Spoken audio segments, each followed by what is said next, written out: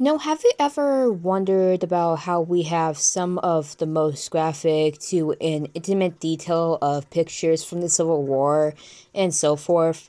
That it makes you feel when you are looking at them at that time that you're right in the middle of where the battle is taking place, and it's not a painting of the battle that represented by an artist, like the Hundred Years' War of the 15th century although paintings like those are a different story of their own.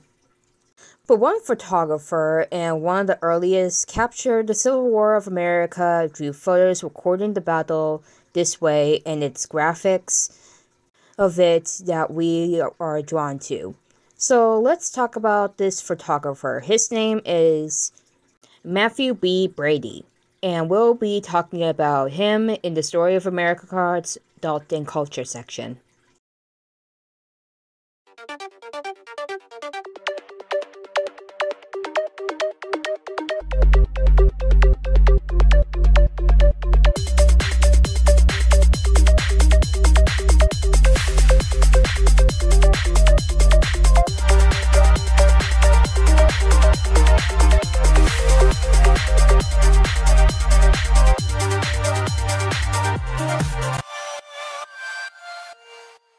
Mathew B. Brady was one of the earliest photographers in American history.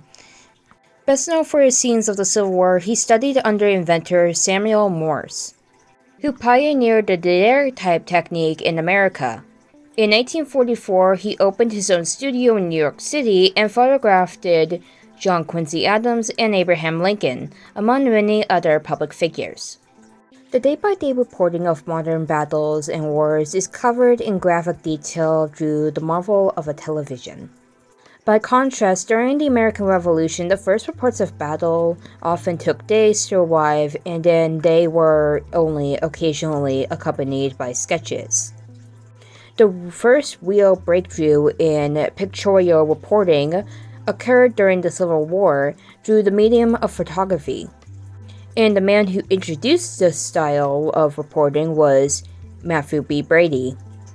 Born in Warren County, New York, around 1823, Brady was encouraged to pursue an art career by the artist William Page.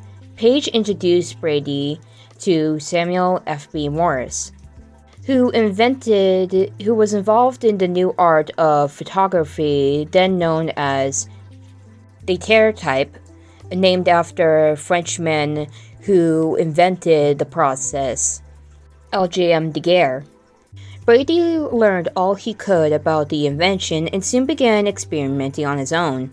As early as the 1840s, he opened a portrait studio in New York City and became an intimate success, photographing scores of important political and social leaders of the day.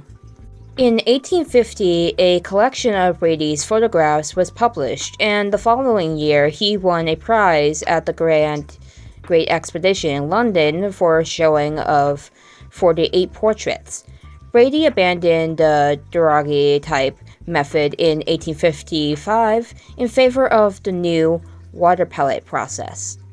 When the Civil War began in 1861, Brady pursued persuaded President Abraham Lincoln and others whom he had often photographed to allow him and his assistants to follow the Union armies.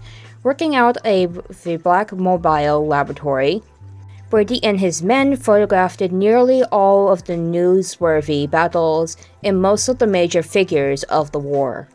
He and his team took thousands of war photographs, many of them appearing in 1870 in Brady's National Photographic Collection of War Views and Portraits of Representative Men. Unfortunately, his pictures could not be used in newspapers because printing presses in the process had not advanced that far yet. Most papers use co- correspondents who sent in the one the screen sketches of the war. As a result, although Brady's photographs represent a unique and valuable record of the period, the project went bankrupt for him and he was no there was no commercial market for his work. Although Brady continued his career as a photographer after the war, he never regained the fortune or early fame. Failing eyesight and ill health affected him in his declining years, and he died alone in poverty on January 15, 1896, in New York City at the age of 72. Brady has photographed over 18 of the 19 presidents at the time and those who were still alive at the time. From John Quincy Adams to William McKinley, the reason he only photographed the 18th was because the 19th president, William Henry Harrison, died in office three years before Brady started his collection photography.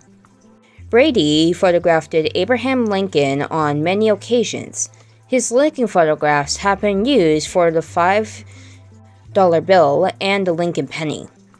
The thousands of photographs which Matthew Brady's photographers, such as Alexander Gardner and Timothy O'Sullivan, took have become the most important visual documentation of the Civil War and have helped historians and public better understand the era. Brady photographed a lot of Union officers such as Ulysses S. Grant, to Lew Wallace. You can find more of the names on the Wikipedia. And Brady did not just take pictures of Union soldiers, but Confederate as too, as he took pictures of Robert E. Lee and Jefferson Davis.